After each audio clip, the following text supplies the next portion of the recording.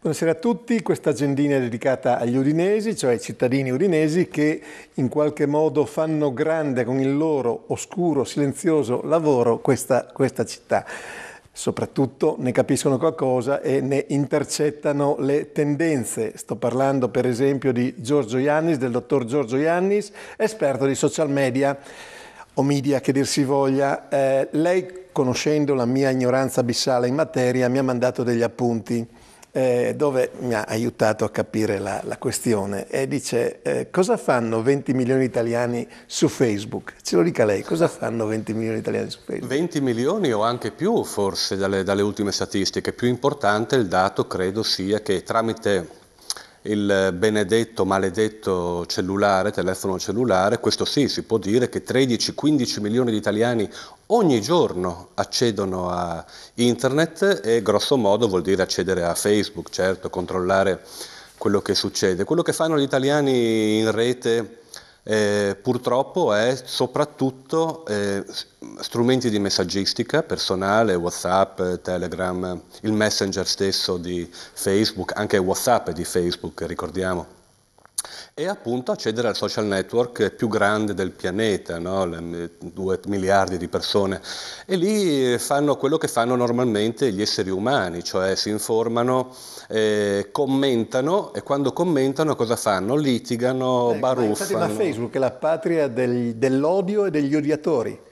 Anche Twitter non scherza, eh? però ci devi mettere un po' di, di, sì. ingegno per riuscire a stare dentro i caratteri, no? Sì, e che li hanno anche aumentati, li hanno aumentati eh, recentemente. Certamente. Questo permetterà delle lenzuolate di 280 caratteri dove appunto anche le, le, la capacità della sintesi magari poteva essere eh, positivamente accolta, invece vedremo accadrà, accadranno delle cose sicuramente con questa raddoppiata lunghezza del, del messaggio. Senta, lei ha scritto una cosa bellissima, folgorante secondo me dice viviamo grazie ai social fuori dai denti. Sì, dovrei ricordarmi cosa stavo dicendo, però...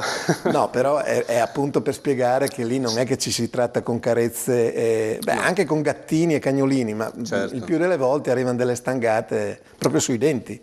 Sì, il, il discorso è abbastanza vecchio, ovvero eh, quanto il fatto di comunicare noi davanti a uno, a uno schermo tolga di mezzo alcune difese, alcune cautele conversazionali, le chiamerei a questo punto, ovvero quando abbiamo davanti un interlocutore in carne ed ossa, noi eh, costruiamo continuamente un rapporto, un feedback con le espressioni facciali, con i gesti, eh, con il non detto che è parte integrante di quello che diciamo e continuamente calibriamo il nostro dire su quello che vediamo nelle reazioni dell'interlocutore.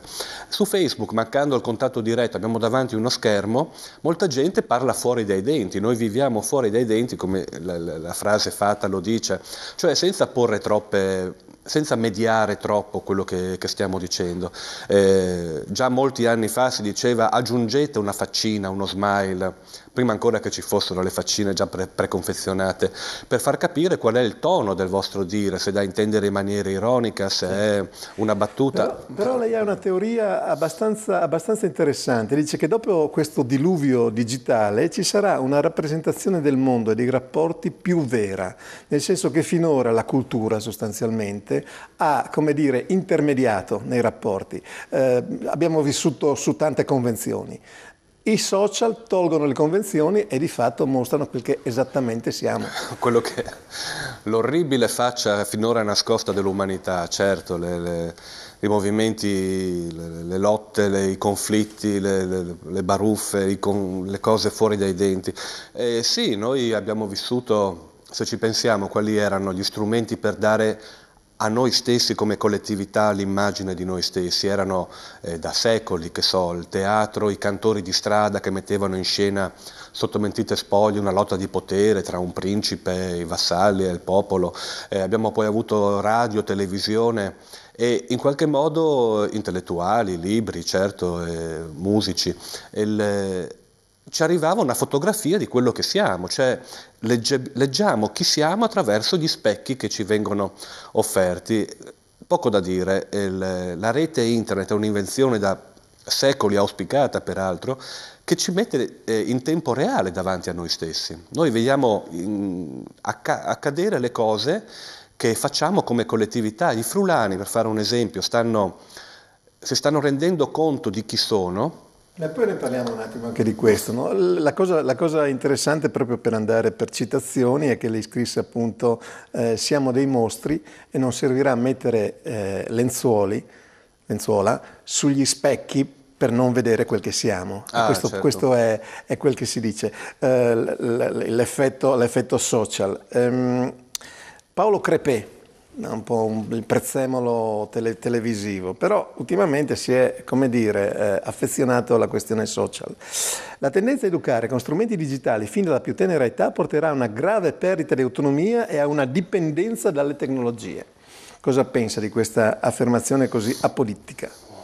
Il discorso educativo è sicuramente il discorso più importante da fare perché in questo momento né istituzioni scolastiche né in generale la società civile, per così dire, si è resa a pieno conto di quante profonde e ampie siano le modificazioni che il nuovo mondo tecnologico sta portando. Sono mutazioni antropologiche. Certamente, non sono un determinista, un tecnodeterminista, quelli che dicono che il nostro intero comportamento e l'abitare sociale dipendono dalle innovazioni tecnologiche. Indubbiamente questo è vero, no? c'è quella famosa battuta quando ho in mano un martello tutto assomiglia a un chiodo, ovvero lo strumento tecnologico, una protesi della mano, si sarebbe detto 50 anni sì. fa, sono studi di una letteratura che ormai hanno decenni e decenni sui mass media, sulla tecnologia della comunicazione in particolare.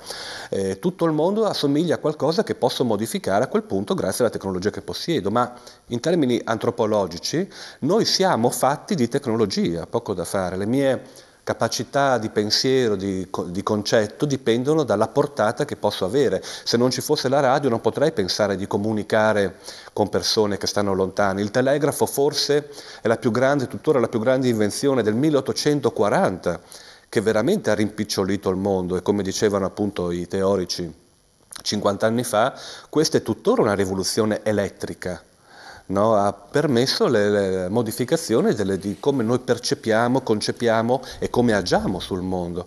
In termini educativi questa cosa è fondamentale, però si chiama cultura tecnologica. E veramente bisognerebbe partire dal martello, dall'impianto, dalla, dal forno, dall'inceneritore, dal traliccio, per comprendere quanto il territorio stesso sia il paesaggio, sia un oggetto tecnologico e quindi poi pian piano dalle elementari, dalle primarie, arrivare fino ai livelli alti dell'istruzione facendo comprendere che abitiamo in un mondo Crepè da noi, si, è esaltato nel, nel, leggere una scritta eh, sui, muri, sui, muri, di Roma, dice eh, spegnete Facebook e baciatevi. Quindi ha fatto un libro, Baciami senza rete. Quindi, ecco, anche questo approccio però mi pare abbastanza, come dire, scontato, forse non approfondito, non, eh, non puntuale rispetto a quello che sta accadendo. Cosa dice lei? Lì è il gusto della battuta. Cioè, il famoso certo. più cabernet, eh, meno, meno in, internet. Meno internet se, vuoi, se, vuoi, ce n'è un'altra, c'è il, i bar che mettevano il cartello non abbiamo il wifi, parlate fra di voi. Ecco. È una delle più belle controrisposte che ho mai visto e quelli che hanno rimesso il cartello dicendo abbiamo il wifi, per cortesia parlate, cioè smettetela perché la qualità di quello che viene fuori, vedervi tutti quanti a parlare tra di voi di, di sciocchezze, a questo punto forse è meglio se ogni tanto certo. vi, vi, nutrite con delle il informazioni. Libro, il libro, poi con Crepè abbiamo finito, il libro che, che citavo, Baciami eh, senza rete, ha una specie di sottotitolo che... Eh, che recita così, buone ragioni per sottrarsi alla seduzione digitale. Ma perché sottrarsi alla seduzione digitale? C'è qualche buon motivo?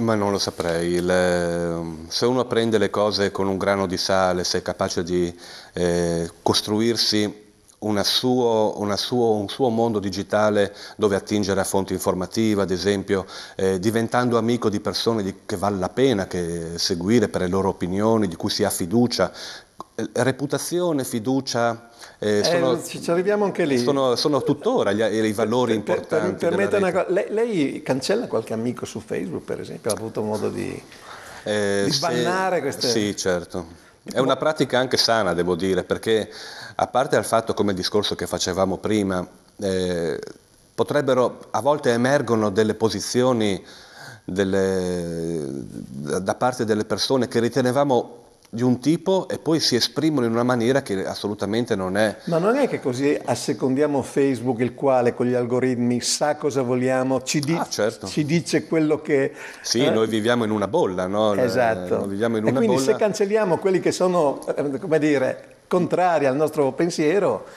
ci... facciamo il gioco di sì, Zuckerberg. Sì. Ci priviamo della possibilità di poterci esporre a qualche, a qualche pensiero che non è il nostro, quindi non riusciamo più a coltivare, se continuiamo a vivere dentro la bolla, dicono no, per l'appunto, ci arrivano da Facebook che tramite algoritmi taglia bene esatto. le cose che vediamo e che non vediamo, che sono molto meno di quelle pubblicate, noi vediamo una parte delle cose pubblicate dai nostri amici o dalle pagine che, che seguiamo, finiremo sempre per vivere dentro un mondo che ci dà conferme, che conferma il nostro pensiero. E questo non fa bene all'educazione minori o adulti non è certo. la, la, distinzione, perché non ci espone alla, alla, all'alterità, alla possibilità di un pensiero diverso da quello nostro. Continuiamo a vivere nello stesso calderone, a mescolare Adesso la stessa... Adesso le faccio una domanda particolarmente stupida. Eh, che differenza c'è tra un friulano e un friulano in rete? Devo pensarci, le domande stupide richiedono sempre. Il, eh, io credo che sia l'orizzonte della comprensione degli eventi. Il, magari quel frulano in rete può essere distorto, abitare dentro bolle deviate dove gli viene soltanto una certa immagine, ma di sicuro non è più quel frulano che vive in una mitologia fatta di, degli ultimi no, di padre Turoldo da Coderno, delle poesie di 40 anni fa o quelle, tuttora le polemiche su Pasolini. È, è, Friuli molto vero, molto autentico, ma già nel 76... Beh, un po' strumentalizzato. Infatti, siamo mm. usciti da, nel 76 siamo usciti dal Medioevo. Mm. Sono successe alcune cose negli anni 90 in cui noi siamo passati direttamente a un terziario avanzato e molte persone non sanno, me ne sono accorto lavorando con imprese, con istituzioni ad esempio, quanto all'avanguardia sia il Friuli, ma proprio in termini di eh, tecnologie avanzate, di realtà virtuali, di... Comunque la domanda stupida mh, mm, aveva già la risposta e l'aveva data lei. In, in, altre, no, in, in altra circostanza. E dice Chiedere oggi cos'è il Friuli accende nella testa delle persone collegamenti, sinapsi, eh, differenti, archivi di memorie derivanti da mass media tv prima e rete adesso. Questo è il cambiamento del, certo. del, del, del Friuli. Senta, Udine è una smart city, una città intelligente? Udine ha realizzato qualche passo, un convegno 2011-2012, proprio Udine Smart, ha intrapreso alcuni percorsi per eh, costruire le infrastrutture base di quello che vuol dire essere una smart city, cioè una connettività veloce, anche qui forse più raccontata, raccontata che... Mm. certo, che realizzata, perché anche se è vero che la fibra ottica c'è, poi bisogna vedere effettivamente qual è la velocità di connessione. Eh, non è un discorso tecnologico, perché poi su quella capacità di banda, di connettività, par- passano i servizi e il nostro abitare concreto in rete. Non posso comprare 100 mega di fibra e poi navigare a 30, oppure vantare la DSL che non è banda larga e navigare a 7 mega che come con i telefonini, anzi i telefonini vanno più veloci forse, perché non mi permette ad esempio di guardare YouTube in maniera decente. YouTube è una memoria storica dell'umanità, anche per trovare quei video di 10, 40, 50 anni fa che dicevo, purtroppo i, le, le bacheche RAI è un problema complicato no, su, su, YouTube, eh, però mi viene a mancare una memoria che non posso più fruire, penso anche in termini educativi, poter un insegnante che prova a dire studiamo Pasolini, per l'appunto ci sono centinaia di interviste, le, le reportage giornalistici che Pasolini stesso faceva e non sono più attingibili, non è possibile fruirli perché per un banale problema, la cosa grave, sa qual è? Il, che dieci anni fa tutto questo poteva, potevamo già essere al punto di oggi dieci anni fa. I ragionamenti che riguardano la banda larga, la fibra ottica hanno 10-15 anni in maniera concreta. Paolo Coppola, in un'intervista proprio qui, l'onorevole Coppola ha detto che la banda larga, il digital divide, se così si può dire ancora, eh, diventerà operativa, stiamo parlando della periferia della montagna sostanzialmente, nel 2020. Abbiamo perso tutti gli autobus del mondo, mi pare, a questo punto. 2020 è la data che da molti anni l'Unione Europea prescrive con un raggiungimento sì, di a certi livelli. nel 2005, 2004, 2003. Sì, certo, certo. Quindi mi pare che Molto ritardi... lentamente, poi si vantavano il raggiungimento della copertura dell'89%, esatto. 90%. Del municipio, però, del municipio. Certo, ma poi in realtà sul territorio le cose erano diverse, ci sono tuttora intorno a Udine o aree artigianali, industriali, eh, zone geografiche che sono malamente connesse. Sì, Smart City non è soltanto eh, connettività, sarebbe poi, dicevamo, sulla base di un'infrastruttura tecnologica seria, poter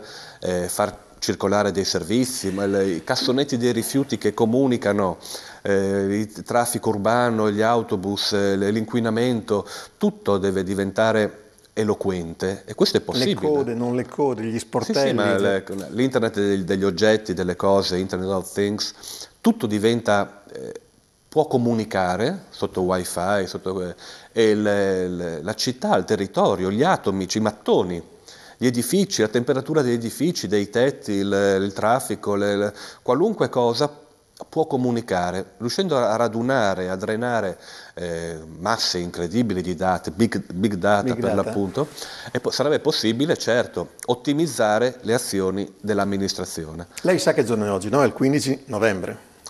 15 novembre 1960 un tale Alberto Manzi cominciava le trasmissioni, ah. no? Non è mai troppo tardi eh, lei nel 2012, se non vado errato, non, è, eh, non era in questa, in questa emittente, eh, avanti rispetto al movimento, fece Non è mai troppo digital. Infatti, che esperienza è stata quella? Molto piacevole, perché si trattava intanto di mettere in fila i ragionamenti avendo presente il format di comunicazione televisivo, quindi tradurre una massa perché sono vent'anni che parliamo di digitale, no? questo è il fatto, e bisogna riuscire a comprendere in che modo poterlo eh, divulgare, ma un termine buono certamente, non un termine cattivo. Eh, può servire fare questo programma, questi, queste iniziative con la televisione perché le fasce della popolazione italiana che tuttora guardano la televisione e la ritengono unico eh, strumento per informarsi sono quelle che forse avrebbero maggiormente bisogno di un'educazione al digitale. Educazione con il digitale e al digitale, perché assolutamente non si può insegnare il computer con un libro di carta, non esiste, nessuno di noi ha imparato il computer con il manuale del computer, bisogna andare sullo strumento e capire alcune cose eh, e le cose oggi diventano necessarie perché? Perché accedere all'INPS, alla sanità regionale, eh, avere un'identità digitale con lo SPID, eh, poter eh, dialogare con l'anagrafe del comune, questo avviene, iscrivere i figli a scuola, alla mensa scolastica, avviene spesso esclusivamente online. Quindi diventa educazione civica. Certo. L'educazione al civile. Certamente. Senta, lei è studioso ovviamente, poi è consulente, poi eh, fa tante cose, conferenziere. Ehm, prendiamo, non abbiamo molto tempo più, prendiamo un, una, una, cosa importante. Eh, le imprese e gli enti locali, che sensibilità hanno rispetto al mondo nel quale lei si muove meglio degli altri? Hanno vissuto per eh, lunghi anni dentro un fumerone, una nuvola di innovazione calata dall'alto a cui si sono adeguate le imprese soprattutto, però senza comprendere lo spirito profondo dell'innovazione digitale, della cultura digitale in questo caso, che comporta necessariamente un cambiamento dell'organizzazione lavorativa, del modo di produrre, distribuire, vendere, farsi conoscere eh, qualunque cosa. Pensiamo a Amazon, no, le, i grossi, lì la, la, distribuzione, lo spazio telematico, quelli sono i veri business. Le aziende più grandi del pianeta non sono più IBM o gente che lavora col ferro, con gli atomi, sono chi maneggia informazioni, ato bit.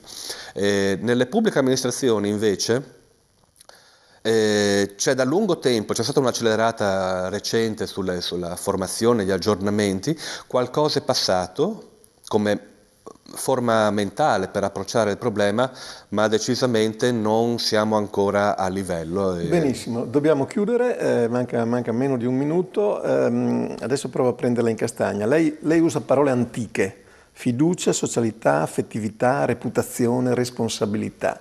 Come si fa a coniugare queste belle parole con questo bel mondo di, no, di odiatori e di... No?